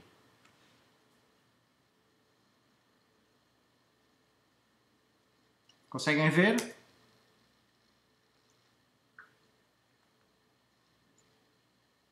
Ok. Então agora vou criar aqui uma tabela. É sempre mais fácil fazer isto com uma tabela. Oi, não é isto que eu queria.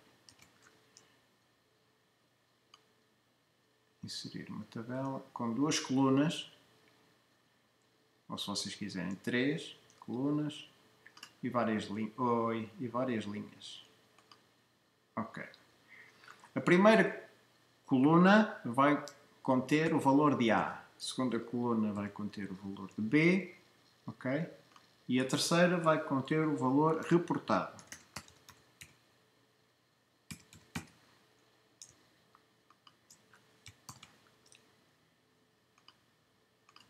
Muito bem. Imaginem que eu invoco esta operação com os valores 3 e 5. Sim, em princípio sim. Eh, é, eu, amanhã vou ter o dia muito ocupado, mas em princípio consigo gerar o vídeo e disponibilizá-lo na quarta-feira. Ok. Portanto, imaginem que eu vou invocar o repórter uma operação sobre com os valores vamos supor 4 e 10 ok? e vamos ver o que é que acontece certo? Então vamos executar vamos preencher esta tabela com os valores apropriados ok? Se o A valer 4 e o B valer 10, o que é que ele vai reportar? Ele vai reportar o resultado da operação, ok? Certo? Realizada sobre que valores?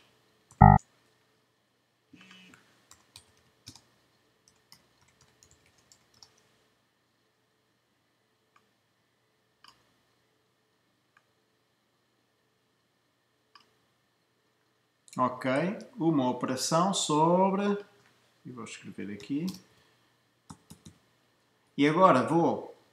O que eu passo é o A menos 1, ou seja, 3, e o B mais 1, ou seja, 11. Ok? Bom, ok. Então vamos ver o que é que isso dá. Vamos ver o que é que acontece quando o A valer 3 e o B valer 11. Quando o A valer 3 e o B valer 11, como o A não é 0, ele vai reportar o resultado de uma operação sobre A menos 1, que agora é 2, e B mais 1, que agora é 12. Ok? Portanto, vamos passar a verificar, tentar perceber o que é que ele reporta quando recebe aqui no A o valor 2 e no B o valor 12. 2 e 12. Será que o A é zero? Não, 2 não é zero e, portanto, ele vai reportar o que quer que uma operação sobre A menos 1 e B mais 1 reporte. Ora, o A vale 2 e, portanto, A menos 1 vale 1 e o B mais 1 vale 13. Ok? Portanto, vamos ver o que é que ele reporta no caso de receber em A1 e em B13. O A1 não, não é zero e, portanto, ele vai de novo invocar uma operação de uma forma recursiva, passando-lhe o A menos 1 e o B mais 1. Ou seja, uma operação realizada sobre o A menos 1, que agora é 0, e o B mais 1, que é 14. Ok? Vamos ver então o que é que acontece quando ele recebe como A 0 e como B 14. Quando recebe 0, reporta o quê? Quando recebe 0 e 14, ora o A neste caso é 0 e portanto reporta diretamente o valor de B, ou seja, reporta 14. O que significa que aqui em cima ele reportava o valor desta operação que é igual a 14. Ok? E reporta para quem? Para esta invocação. Ok? Estava à espera do resultado desta operação, que é 14. Que é 14. Que é 14. Conclusão. O resultado é 14. O resultado da invocação com 4 e 10 é 14. O que é que está a acontecer aqui?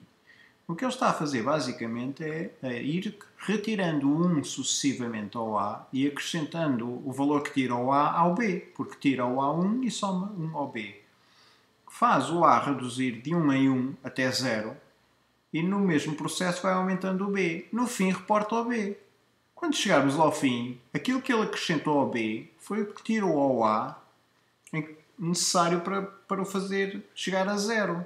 Ou seja, o que é que esta operação toda faz de uma forma muito complicada?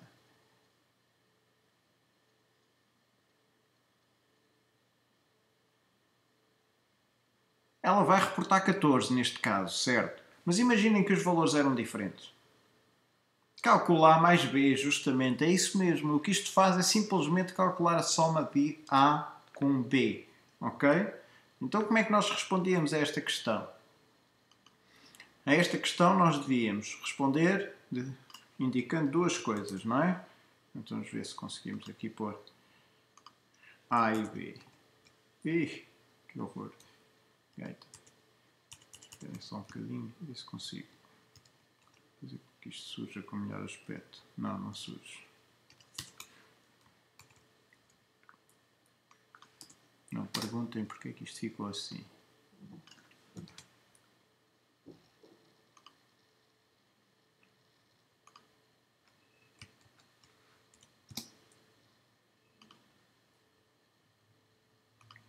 Ok.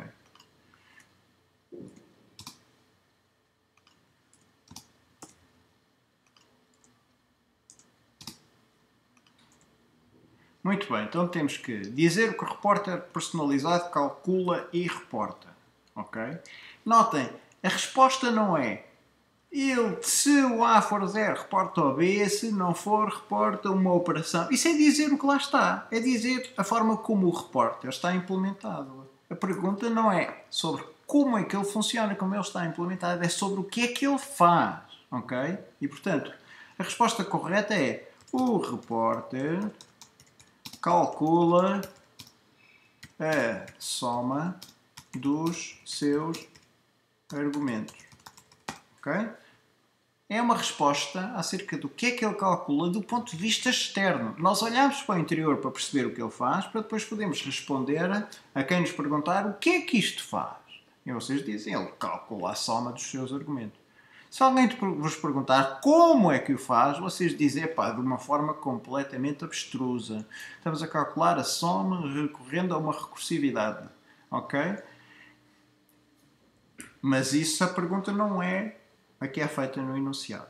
Ok? Agora a questão B eh, passa basicamente por eh, ser mais preciso na forma como dizemos o que é que este repórter faz. Ok?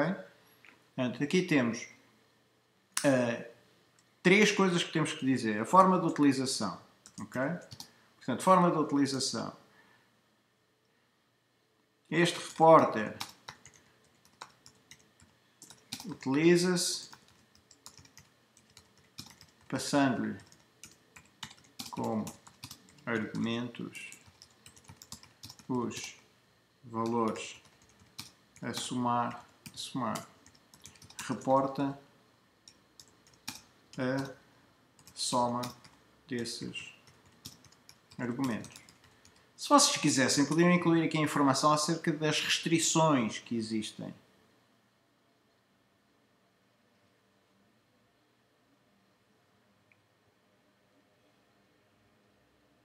Oh diabo!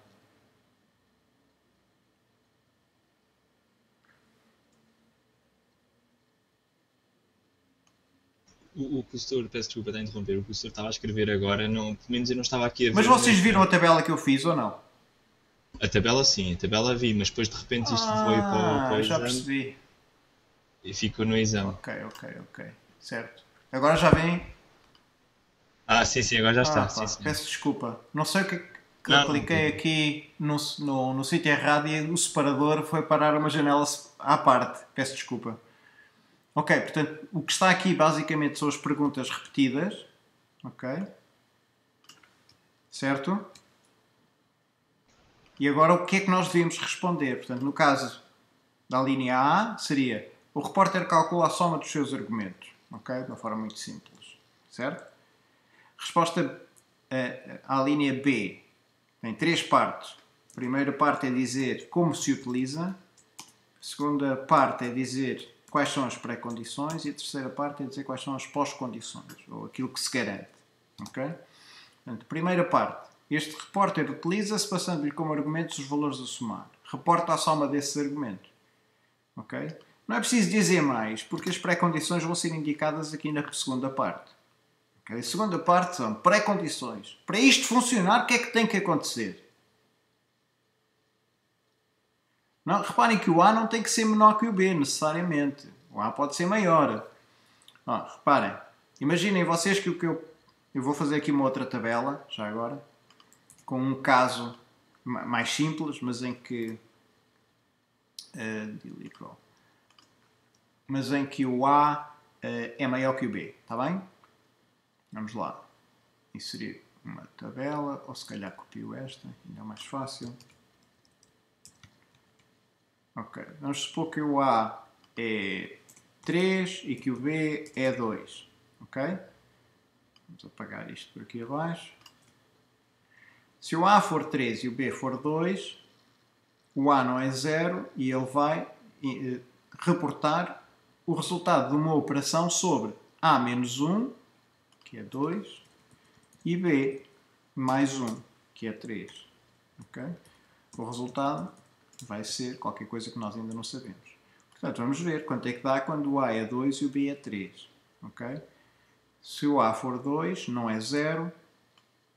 E, portanto, ele vai reportar o resultado da operação com A menos 1 e B mais 1. Ora, A menos 1 é 1 e B mais 1, como o B é 3, agora B mais 1 é 4. Portanto, vamos ver quanto é que este o repórter reporta quando o A é 1 e o B é 4. Quando o A é 1 e o B é 4, não estamos nestas condições do A ser 0 e, portanto, vai mais uma vez reportar o que quer que o próprio operador reporte quando se passa A menos 1, ou seja, 1, eh, desculpem, 0, porque o A aqui é 1, e eh, B mais 1, ora B é 4, portanto B mais 1 dá 5. Ok? Então vamos ver agora o que, é acontece quando o, B é 0, o A é 0 e o B é 5. Se o A é 0, reporta o B. Portanto, reporta 5. Esse valor 5 é usado aqui como resultado desta operação, que fica 5.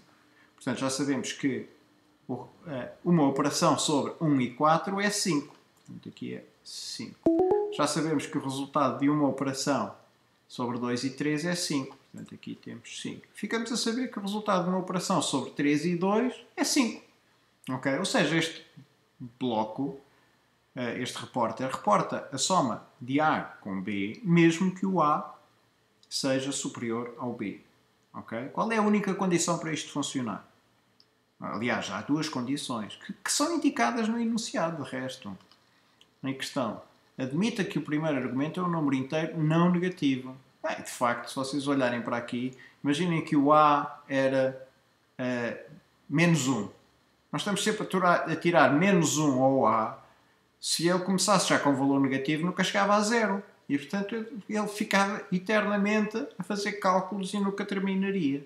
Ok? Portanto, o A não pode ser negativo. Por outro lado, se o A for um número com parte decimal, não for um número inteiro, mesmo que seja positivo, o que acontece é que nunca fica zero.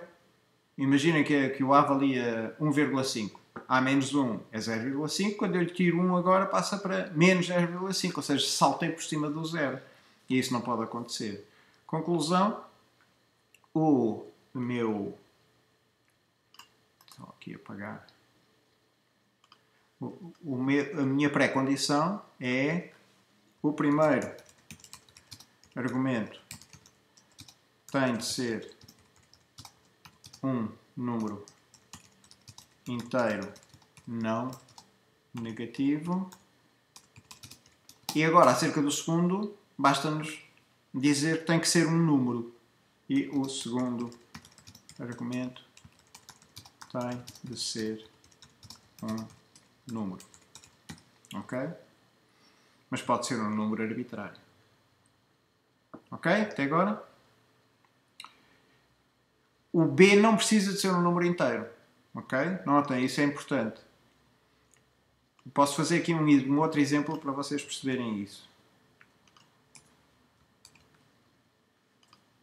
Imaginem que, que eu estou a, a tentar calcular é estou a passar a este bloco, uh, agora simplificando isto um bocadinho.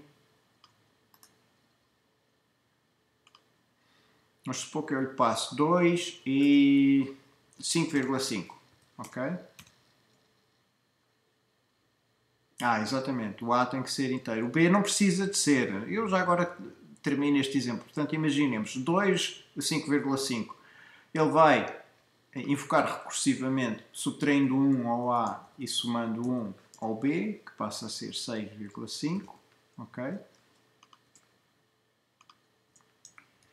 Portanto, vamos ver qual é o resultado com 1 e 6,5. Eh, como o A não é zero, vai uh, subtrair 1 ao A, vai, vai, vai, de novo calcular o resultado da operação com o A menos 1 e com o B, aqui devia ser, perdão, 6,5 e não 6,6, e portanto aqui fica 7,5, ok? Portanto, quanto é que dará quando recebe 0 e 7,5? Como A é 0, reporta diretamente o valor do B, que é 7,5, esse valor vai ser usado como resultado, cá em cima, por sua vez vai ser o resultado uh, da invocação com 2 e, 2, e 5,5. E o resultado é na mesma soma. Portanto, tudo funciona, o B não precisa de ser um número inteiro. Ok, já sei que não era isso que querias dizer, Jorge, não há problema. Uh, quais é que eram Quais são as pós-condições? As pós-condições são muito simples. O valor reportado é a soma dos valores dos argumentos. Ok? Não estamos a, a, falar, quando falamos das pós-condições, estamos a, a, dizer que garantias é que o produtor deste repórter dá a quem o usa, desde que essa pessoa que o usa cumpra as pré-condições. Se cumprir as pré-condições, ou seja, se o primeiro argumento for um número inteiro não negativo e o segundo for um outro número qualquer, que ele reporta é a soma dos valores dos argumentos, do primeiro com o segundo. Ok? Ficou claro?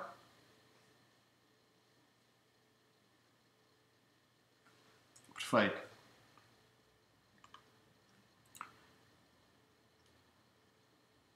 Questão 12.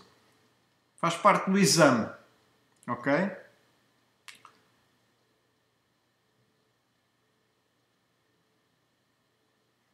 E, e oh, deixa-me cá ver. Nós tem, ainda temos 16 minutos. Acho que ainda dá tempo para tentarmos fazer aqui a questão 12. Vamos a isso? Ok, então vamos lá. Então, eu vou criar um novo bloco chamado uma lista com os itens alternados de a primeira lista e a segunda lista. Vocês não estão a ver o que é que eu estou a fazer, estou simplesmente a compor o texto para depois passar para o Snap. Ok? E poder fazer copy-paste. Bom, agora vou abrir o Snap. Abrir uma nova janela do Snap. E vou criar um novo bloco. Ok? Se vocês olharem para o que está no enunciado, é suposto ser um repórter, aqui os lados arredondados, ok? E vermelho, ou seja, da categoria das listas. Nas listas, um repórter. E o texto, foi aquele que eu estive a compor enquanto vocês não viam, é exatamente o que é necessário para produzir o que está no enunciado. Portanto, uma lista com os itens alternados de, e agora vou converter a primeira lista num é, parâmetro. Vou converter aqui a segunda lista também num parâmetro. Se eu agora carregar em aplicar, vejo que me surge já aqui uma lista com os itens alternados de uma lista e outra. Ok? Quais é que são os blocos que estão sugeridos que eu utilizo? Vamos ver cria variáveis de guião, altera, adiciona, até que, reporta, maior, acrescenta, uma lista vazia. Uma lista vazia, uma lista vazia não existe, ok? É um repórter uh, também uh, personalizado. que vocês não, não teriam que implementar. Eu, como criei um, um projeto novo no Snap, vou implementá-lo aqui. Portanto, uma lista vazia, que tem uma implementação um, trivial. Basicamente é reportar uma lista com nada lá dentro. Ok? Pronto, já temos. Então agora vamos ver como é que podemos construir uma lista que tem itens alternados da primeira e da segunda lista. Já agora é importante vermos as pré-condições. Uma nova lista contendo como itens os itens das listas recebidas como argumento forma alternada e começando com o primeiro item da primeira lista. Assume-se que as listas recebidas têm o mesmo comprimento, senão não dá para alternar. Ok? Então vamos lá implementar. Primeiro, eu preciso de uma variável para me guardar a nova lista. É, lista alternada. Ok? Que vou inicializar com quê? Ah, Digam-me rapidamente, vão-me vão ajudando. A lista alternada, inicialmente, ainda não percorri nenhuma das listas, vou inicializá-la com. A ideia é exatamente ir construindo a lista aos bocados. Portanto, inicializo com uma lista vazia. Ok? E agora vou fazer um ciclo, certo? Já agora, olhando aqui para. Está um até que. Ok? Então vamos usar o até que repete. Preciso do ciclo até que. Repete. Já agora, o que é que eu devo colocar aqui no reporta? Quando tudo isto terminar, eu vou reportar. Alô? A lista alternada. Ora, está. Muito bem. Agora, para percorrer as listas, eu vou usar o ciclo até que. Mas eu preciso ter índices para indexar cada um dos itens da lista. E para isso vou criar uma variável à qual vou dar aquele nome muito pouco explicativo, mas muito típico, chamado i. Que vou inicializar com quanto? Vá, digam-me rapidamente. Inicializo a variável i com que valor? 1. Vou começar, obviamente, na primeira posição. Muito bem. Portanto, altero o i para 1 e dentro do ciclo eu vou uh, executá-lo até que o i seja o quê? Este ciclo vai ser executado até o i ser quanto? O i começa em 1 e eu vou adicionar a cada passo do ciclo, no seu fim, é esse o meu progresso, vou adicionar 1 ao i. Até que o i seja quê? Suponham que a lista tem que cada uma destas listas tem 10 elementos, ou seja, o seu comprimento é 10. Eu termino quando o i for quanto? Vamos admitir que as listas têm 10 itens. Termino quando o i chegar a quanto? Se eu terminar quando o i chegar a 10, já só a última execução do passo vai ser com o i a valer 9. Cuidado. Ok? Cuidado, eu quero terminar quando o i for superior ao comprimento da lista. Ok? Ou se vocês quiserem, quero terminar quando o i for igual ao comprimento da lista mais 1. Ok? Este é um dos erros mais comuns um, em programação. É aquele que se chama o off by one. Okay. De acordo? Portanto, que eu vou, já agora voltando aqui ao enunciado, eu vejo que tenho aqui o maior que até era uma boa dica, não é? Tenho aqui o maior, vou colocá-lo aqui. Portanto, quando o i se tornar superior ao comprimento da lista,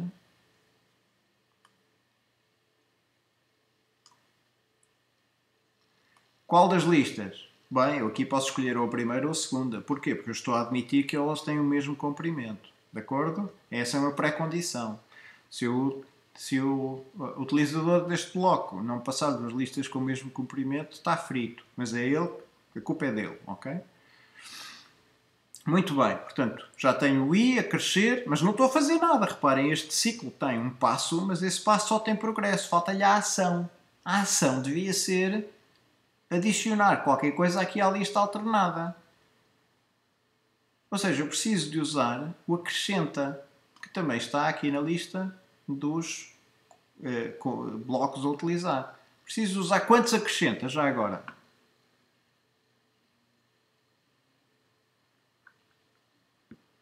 Dois. Preciso de dois. Porquê? Porque eu preciso de acrescentar à lista um item vindo da primeira lista e, e um, à lista alternada, aliás, um item vindo da primeira lista e um item vindo da segunda lista. Ok? Portanto, vou ter que ir buscar o que está na posição I da primeira lista e o que está na posição I da segunda lista. Acrescento primeiro da primeira lista, depois acrescento o da segunda lista. Ok? Isto, se nós não tivermos cometido aqui nenhum erro pelo caminho, deve-nos produzir uma lista ah, com os valores alternados de duas listas com o mesmo comprimento. Vamos fazer uns testes. Se eu passar a este meu repórter duas listas vazias, o resultado deve ser o quê? Rapidamente.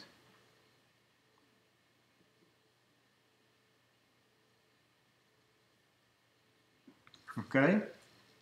Se eu passar a este repórter duas listas vazias, ou seja, se a primeira lista e a segunda lista estiverem vazias, o que é que ele deve reportar?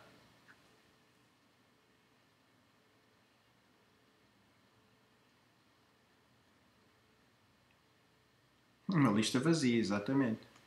Ok? Muito bem. Notem que quando nós fazemos testes, convém verificarmos os casos extremos. Ok? Portanto, agora vamos supor que eu tenho aqui duas listas com comprimento. Oi, já fiz as neiras, só. Comparar duas listas com comprimento 1. Primeira com 3, a segunda só com 5. Ok? O resultado devia ser uma lista contendo o quê? Rapidamente.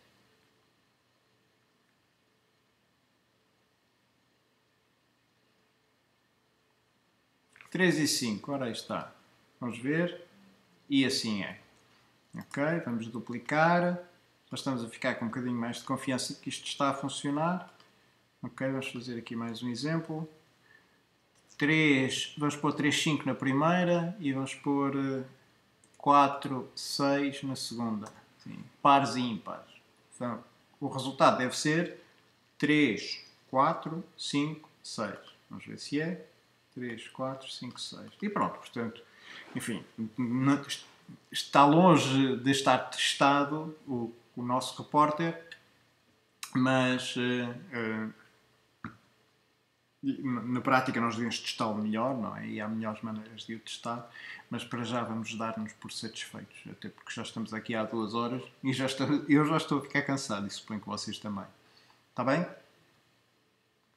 Ficou tudo esclarecido? Podem ligar o som. Realmente despedimos-nos em voz.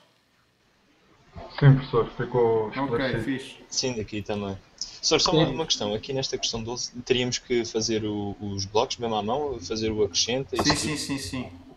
tudo, o editor de Ex- blocos, assim. Exatamente, ou seja, ah, mas eh, não, se não ficasse assim tão parecido como o Não, Snap, não, é? não. Há, há certas coisas que nós não, assim. a, a ideia é pá, desenhar vagamente, ok? Exatamente. Não, não, não. E porque, ah, sem sem eh, preocupações para estéticas nin- nenhumas, ok?